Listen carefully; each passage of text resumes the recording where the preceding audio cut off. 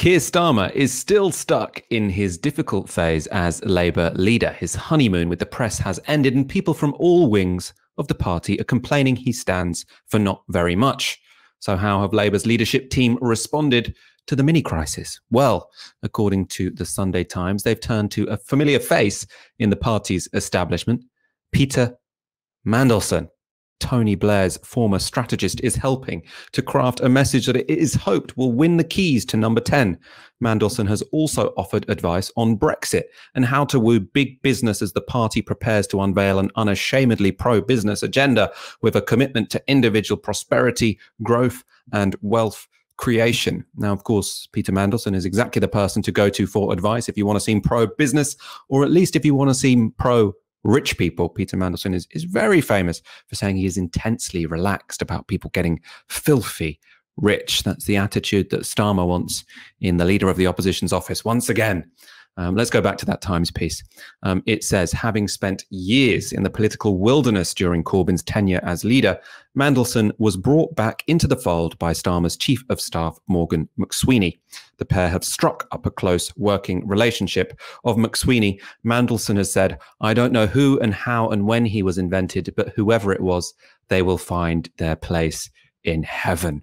Um, now, that's not a recent quote um, about Morgan McSweeney. That's something that Peter Mandelson said um, quite early on. I, I, think it was probably during um, the Keir Starmer leadership campaign. But what he was very delighted um, about was that Morgan McSweeney had quite successfully essentially outmaneuvered um, the left in the party, and presented Keir Starmer as a left winger to the Labour Party membership before veering him quite drastically I suppose one could say, to the right.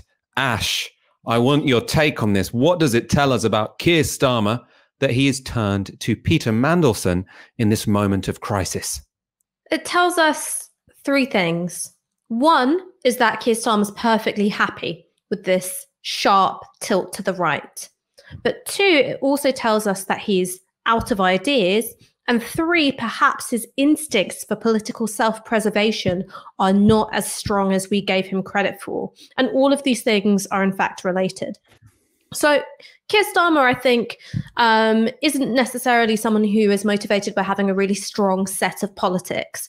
Jeremy Corbyn was motivated by a deeply moral sense of socialism. Uh, Tony Blair had a vision. He had sincere beliefs which he held. Keir Starmer, I think, just wants to win. He just really wants to be prime minister. And he's got no idea how he's supposed to do that other than sort of following this quite dull uh, path which has been laid out for him, which is be as inoffensive as possible to win back the votes of five homo to, homeowners in Stoke. Um, and that's not working. He's sort of hemorrhaging some of that goodwill which he'd enjoyed for the past year for simply not being Jeremy Corbyn. Um, and he's quite happy to sort of, you know, tilt towards a kind of blue Labour direction with, you know, faith, flag, and family and all that kind of stuff. Um, and, you know, doing this tap dance we've all seen before from Labour of I am ferociously, pathologically, neurotically pro business. So I think it sort of shows the the lack of a, a, a political centre of gravity in Keir Starmer that Peter Mandelson might be being brought in.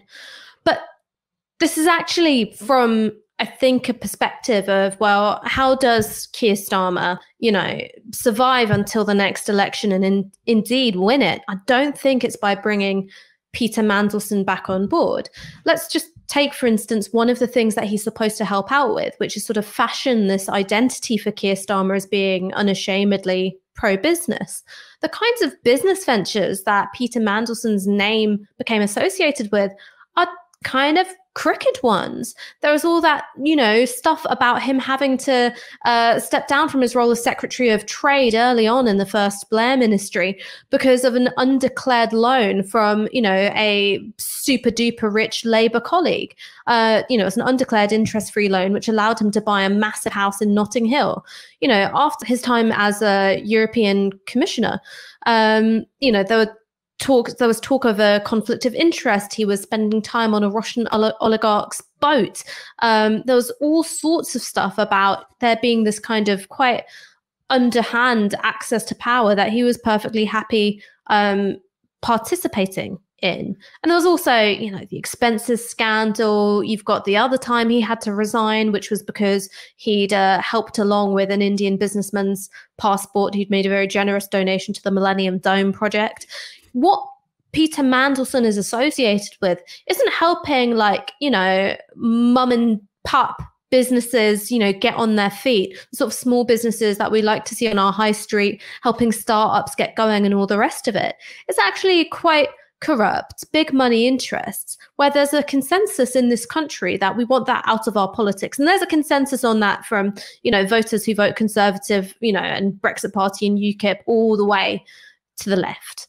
So I think that what bringing him in from the cold uh, could indicate for Keir Starmer is that he's going to lose one thing which he had a pretty decent claim to, which is one of, you know, kind of general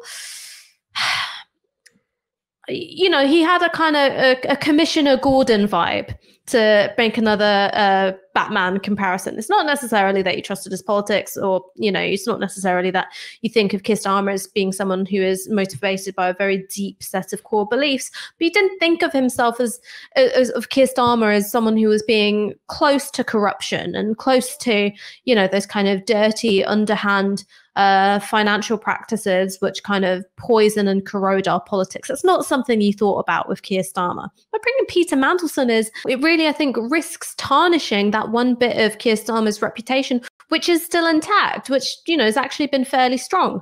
So I think that this is going to end up being something of an unforced error. And what Keir Star- what Peter Mandelson, sorry, will do, um, being closer to Keir Starmer, is use that as a, a means to further disempower the left. And I think kind of prepare prepare the ground for you know a new labour leader at some point maybe before the next election even who comes from the right wing of the party so i really do think that from all angles this is an unsound decision for keir starmer you're watching Tysky Sour on Novara Media. We go live every Monday, Wednesday, and Friday at 7 p.m. And we put out videos every single day. So make sure you subscribe to the channel so you don't miss a thing. Another sort of nugget of gossip that was in that Sunday Times piece, which was um, people pushing for a cabinet or a shadow cabinet, sorry, reshuffle. Um, so let's go back to that piece. So apparently, Privately, Starmer has also been warned by allies that certain members of his team are underperforming and near invisible. Among those who have been identified are Anneliese Dodds, the Shadow Chancellor, Andy McDonald, the Shadow Employment Secretary, and Kate Green, the Shadow Education Secretary. At least one source close to Starmer is understood to be arguing for a reshuffle. Many of those appointed to Keir's team have never served in opposition, let alone government. It goes on, the lack of experience is telling. There are very talented people within the party, and there is a sense that he is not fielding his top team. Another senior Labour figure said, Boris Johnson has got one of the worst cabinets in post war British history. It is disturbing that some of their Labour counterparts are even worse. Some believe that able former ministers, including Yvette Cooper and Hilary Benn, should be offered a route back. Now, this might seem insignificant because I'm listing a bunch of names who are, you know, not particularly outstanding in terms of their politics or or their performances. Anneliese Dodds was was you know she she seems fairly decent. She seems like her her politics are reasonably progressive, but she hasn't really impressed as as shadow chancellor. I think that's mainly because she hasn't been allowed to say anything, um, and they'd be replaced by people who are also you know not particularly outstanding or or exciting. But in terms of the the nuts and bolts of the party, it is quite significant actually that people like Yvette Cooper and Hilary Benn are being pushed as people who should be right at the top of the party again. And this really goes back to the Ed Miliband era because Ed Miliband probably is to the left of Keir Starmer. He he sort of did come to the, the leadership with an idea, which was that after the financial crisis, the center of political gravity had changed.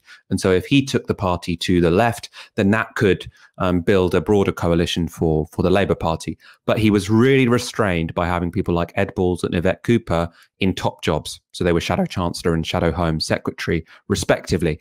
And what's happening now is those same right wing backbenchers are saying, look, Keir Starmer, the problem is he has actually quite a soft left shadow cabinet, people like Anneliese Dodds, who are reasonably progressive. He needs to get rid of them and have another um, Blairite, Brownite, whatever, new Labour set of people up there with him who can get rid of any any um, suggestion that this could be a progressive party and would implement progressive um, reforms that could potentially hold um, big businesses in this in this country to account. Ash, what's your take? Do you think we will see Yvette Cooper and Hilary Benn back? Um, you know, in in in those top positions I think that is possible. And I think one of the reasons that makes it possible is that the Labour Party is really bad at dealing with its own jitters.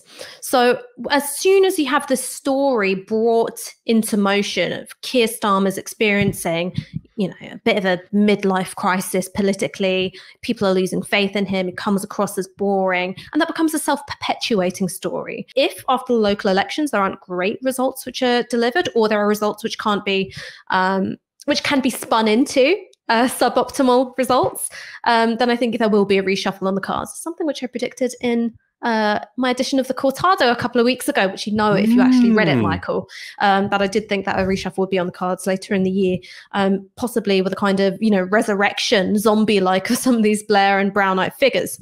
What do I think that is, let's leave aside my political differences with Hilary Benn and Yvette Cooper for a second, because I have very profound political differences um, with them. Is is it going to be successful? It is the dumbest fucking decision ever, because what it means that Keir Starmer is doing is looking at Labour's history over, you know, the last 20 years and going, hmm, the people who oversaw the decline of Labour um, in Scotland, the beginnings of a crumbling red wall, the people who had, you know, no ideas, who'd lost the faith of their own grassroots to the extent that Jeremy Corbyn the backbenchers uh, foreign secretary, the Werther's Originals granddad of socialism, could become leader of the Labour Party. Let's just get those people back in again.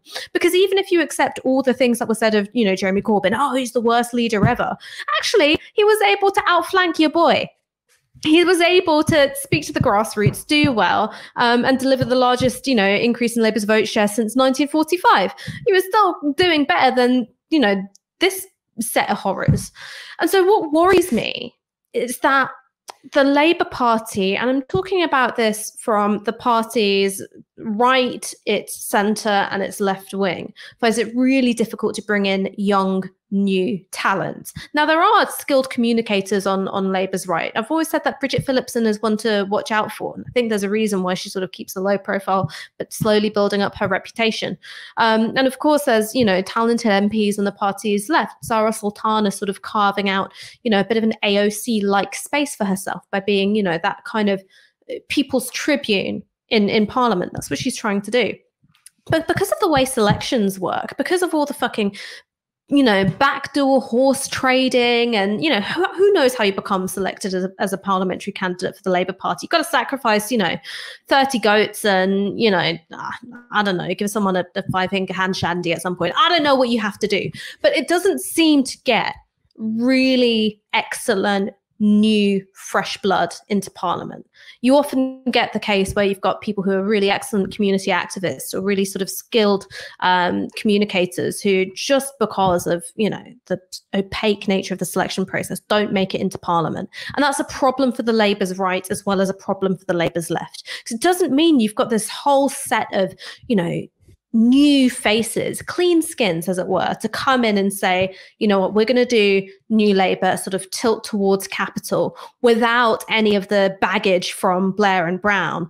Here they are suggesting Hilary Benn and Yvette Cooper just bring in all that baggage in with them. And people's memories do extend back to those years. They do remember you know the allegations around sort of cash for honors and the sort of overseeing of the the I don't know what you would call it, the like shopping mallification of British politics, a sense of like lost integrity, of lost purpose. People remember that from the Blair and the Brown years.